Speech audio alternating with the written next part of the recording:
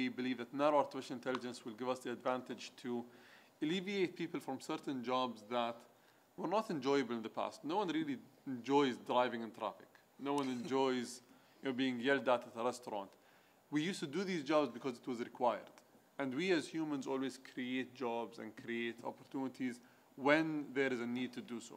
Um, so based on the, the world we live in today, there are many jobs that exist today that did not exist in the past, whether it's you know, social media influencers or social media managers, um, and, and other jobs that came with the advancement of technology. We completely believe that in the long-term future, every single person is going to have a type of job that they're going to be in.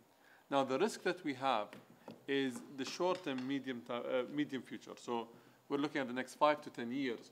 When these jobs are going to be created, if we do not create jobs for people who will be losing their jobs because of artificial intelligence, we will have massive problems in governments across the world. So it's all about riding the wave and understanding how you can migrate people to the next available job that is created. We also believe that illiteracy today is not, not being able to read and write. It is moving from that to being uh, not able to program. Uh, in the future, if you don't speak the language of technology, you will be left out. So we have worked on many initiatives to enable people to do so, not just in the UAE. So we have curriculums to teach people coding from kindergarten to 12, so K to 12. But we also are working to train a million people how to code in the Arab world because we believe that if we want to improve the state of the region, you need to improve the opportunities that people have and really give them the opportunities of the future. Uh, finally, the biggest challenge that we see in the UAE, and I think this is a challenge for every country on earth, is that artificial intelligence changes, adapts, and is not the same thing from the day that you buy it or the day that you use it. It keeps changing with the data sets and the things that it's exposed to.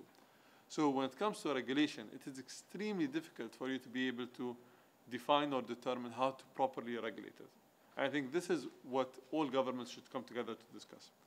Now, our opinion on this is that this is something that should be democratized. Artificial intelligence should be something that the whole world comes together to discussing, to regulating uh, jointly, and to working together on advancing.